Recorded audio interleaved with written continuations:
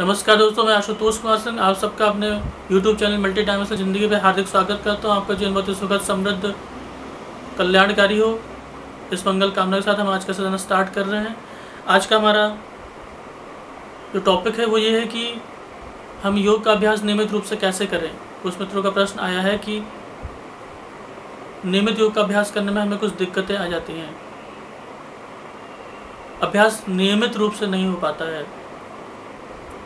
तो फ्रेंड्स अगर आप हमारे चैनल पर नए हैं तो सबसे पहले हमारे चैनल को सब्सक्राइब कर दीजिए बेल बटन प्रेस करिए ऑल सेलेक्ट करिए, और अगर आप पुराने हैं, हमारे नियमित दर्शक हैं तो निश्चित रूप से हमारे वीडियोस को ज़्यादा से ज़्यादा लोगों तक शेयर करें, ताकि ज़्यादा से ज़्यादा लोग इसका लाभ उठा सकें। फ्रेंड्स आइए, सबसे पहले मैं आपको एक छोटी सी कहानी सुनाना चाहता हूँ। आप सबने थॉमस एल्वा एडिसन का नाम ज़रूर सुना होगा।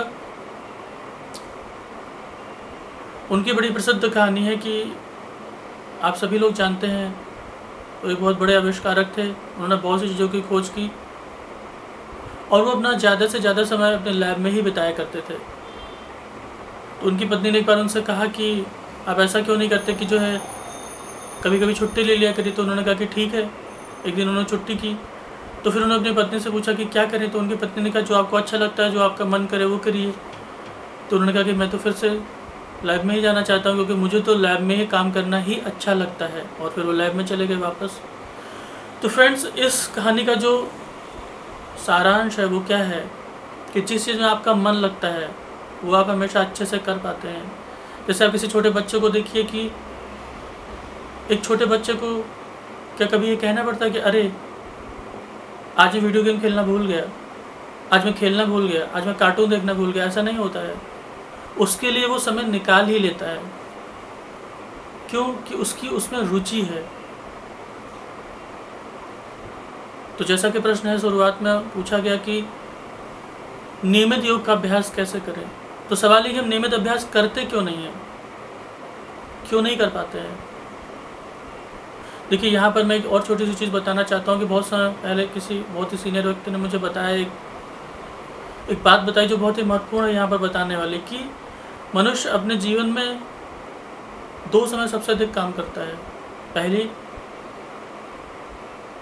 यह सीखने को तैयार हो जाता है। तो पहली चीज़ कि जब उसे किसी लाभ की आशा हो, उसे लगे कि मुझे इससे लाभ मिलेगा। और दूसरी कि कोई बहुत बड़ी हानि का डर हो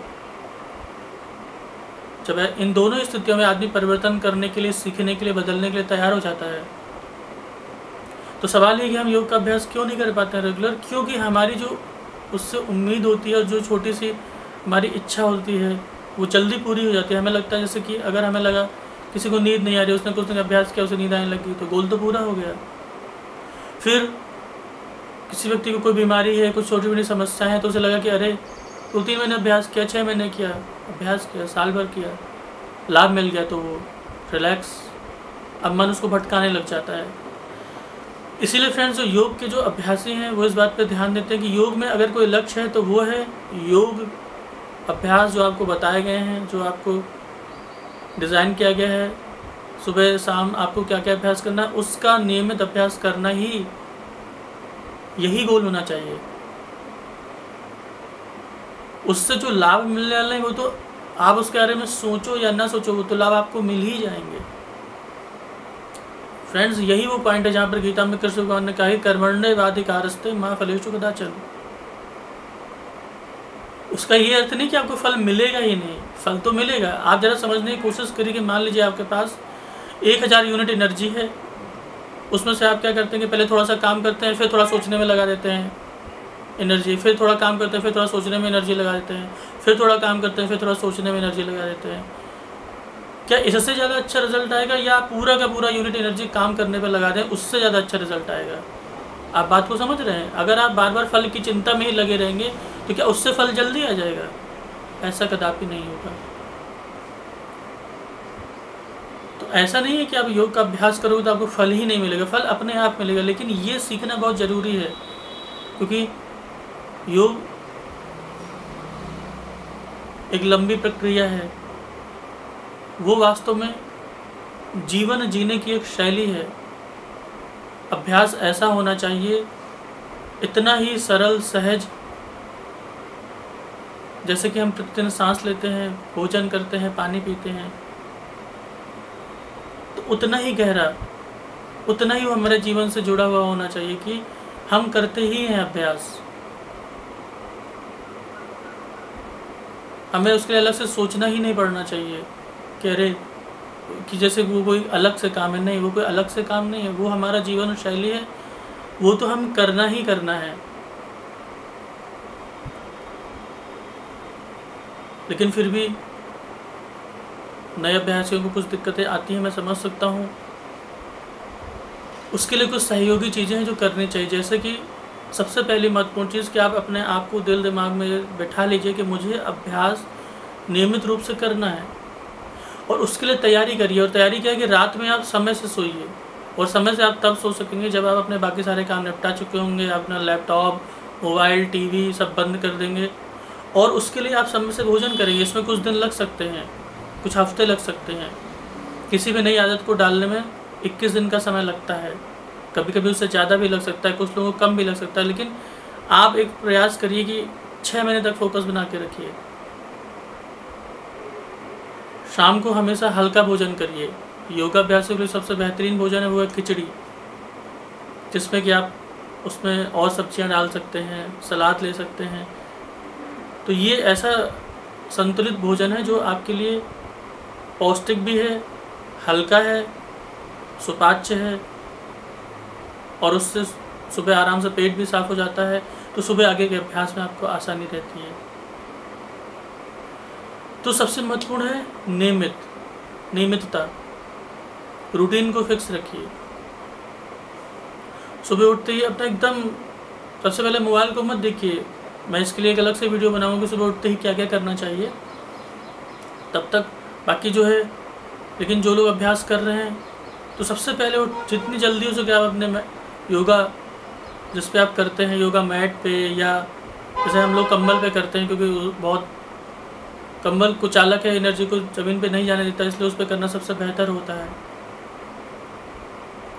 आप एक माहौल बना सकते हैं, अगर आप नियमित रूप से चाहें तो अगरबत्ती जला सकते हैं मतलब अपने आप को इस तरह से इंगेज रखिए ताकि आप एक सही माहौल का निर्माण कर सकें। और नियमित रूप से अभ्यास कर सके, ये बहुत ही आवश्यक है। दूसरी जो सबसे महत्वपूर्ण चीज़ है कि सर कई बार जब नया अभ्यासी होता है तो उसका शरीर में दर्द होने लग जाता है, दिक्कतें होती तो उस वजह से वो मन भागता है। तो महत्वपूर्ण है संध्या बंधन कि आप सुबह शाम दोनों समय जप करिए और जप के लिए सबसे सरल और सबसे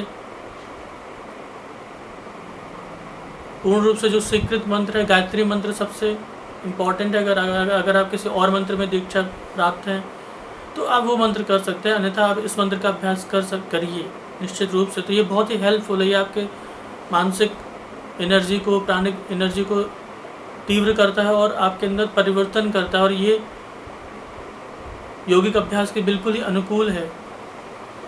तो इससे आपको एक सपोर्ट मिलेगा। सपोर्ट क्योंकि जब जिस चीज़ को मन तैयार हो जाता है, जिस काम को करने के लिए, शरीर उसको फॉलो करने लग जाता है। और उसके अलावा जो सबसे महत्वपूर्ण बात है, पहली चीज़ मैंने आपको बताई कि रूटीन अपना सही रखिए। दूसरी चीज़ है, जब तीसरी इंपॉर्टेंट चीज़ है कि सही संगत। कि आप ऐसे लोगों के साथ बिताइए जो पुराने अच्छे अभ्यासी हैं, नियमित अभ्यास कर रहे हैं। ताकि आप उनके जीवन से, उनके आसपास रहकर उनसे प्रेरणा प्राप्त कर सकें। लेकिन निश्चित रूप से बहुत से लोगों का प्रश्न होता है कि ऐसे सर, ऐसे लोग मिलेंगे कहाँ? और हम तो ऐसे किसी को जानते नहीं और ऐसी बहुत सी बातें हो जाती हैं, मैं समझ सकता हूँ, क्योंकि समय बदल रहा है और हर वक्त हर आदमी आश्रम में तो रहता नहीं है। तो इसका दूसरा उपाय, आप हमारे चैनल पे हमसे संपर्क में रह सकते हैं। आप हमारे वीडियोस देखते रहिए, आपको उससे प्रेरणा मिलेगी। और इससे भी ज़्यादा महत्वपूर्ण है धर्म ग्रंथों का अध्ययन, ग्रंथों का अध्ययन, महापुरुषों के ग्रंथों का, उनके जो जीवनियाँ उनका अध्ययन। जैसे कि आप श्रीमद् भागवत गीता का अध्ययन रेगुलर नियमित रूप से कर सकते हैं। हम लोग उसको नियमित अभ्यास करते हैं। आप, जैसे कि मेरे पास एक पुस्तक है, योगी कथामृत। परमंश योगानंद की पुस्तक है। तो इसको आप पढ़ सकते हैं। स्वामी रामकृष्ण परमहंस का जीवन पढ़ सकते हैं, माँ का जीवन पढ़ सकते हैं, ओशो की जीवनी पढ़ सकते हैं, महर्षि रमण के बारे में पढ़ सकते हैं, महर्षि अरविंद के मतलब बहुत बहुत सारे महापुरुष हैं जो अध्यात्म से जुड़े हुए आप उनके बारे में जब आप पढ़ते हैं तो उससे आपको अंतर प्रेरणा प्राप्त होती है। और बस कुछ दिन की ही बात है, शुरू में ही उस दिन अगर आपने उसको मैनेज कर लिया, बस उसके बाद तो फिर वो आसान होता जाएगा। फिर वो कहते हैं ना कि संस्कार संस्कार को खींचता है। आप कुछ दिन अभ्यास कर लेंगे तो मन की एक आदत है, मन मन जिस, मन में एक, मन का एक नियम है, जड़त्व का नियम। आपने ज़रूर सुना होगा। जब आप किसी काम को शुरू करते हैं तो उसमें थोड़ा रेजिस्टेंस करता है मन, उसका प्रतिरोध। लेकिन जब आप उसको कुछ दिन तक नियमित, कम से कम इक्कीस दिन तक नियमित रूप से करते हैं तो फिर वही जड़त्व का नियम आपके पक्ष में काम करने लग जाता है। और इसीलिए फ्रेंड्स, मैंने सबसे शुरुआत में जो पहला वीडियो डाला था रिलैक्सेशन का वीडियो वो जानबूझ कर डाला। क्योंकि होता क्या है कि मन मन, दिमाग हमको भ्रमित कर देता है। जब हम कुछ शुरू करते हैं तो वो कोई बहुत बड़ा गोल बता देगा। और फिर जब नहीं होगा तो एकदम से लगेगा कि अरे, अब हमसे होगा ही नहीं। जबकि सरल से करिए। पहले, पहली चीज़ क्या है कि हमको नियमितता पे ध्यान देना है। जब वो नियमित होने लगेगा तो फिर धीरे धीरे अभ्यास और आगे बढ़ने लगेगा। तो फ्रेंड्स जैसा कि मैंने आपको बताया, मैं इसको फिर से दोहरा देता हूँ कि सबसे पहले आप अपना रूटीन सही रखिए जब करिए, उन आध्यात्मिक ग्रंथों का अध्ययन करते रहिए ताकि आपको प्रेरणा मिलती रहे।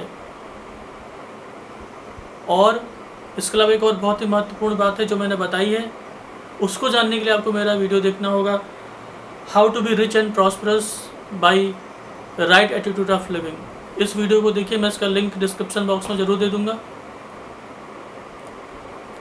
और आप सबका जीवन बहुत ही सुखद हो और आप अपने अभ्यास में ज़रूर संपूर्णता प्राप्त करें। इसी शुभकामना के साथ आज इतना ही।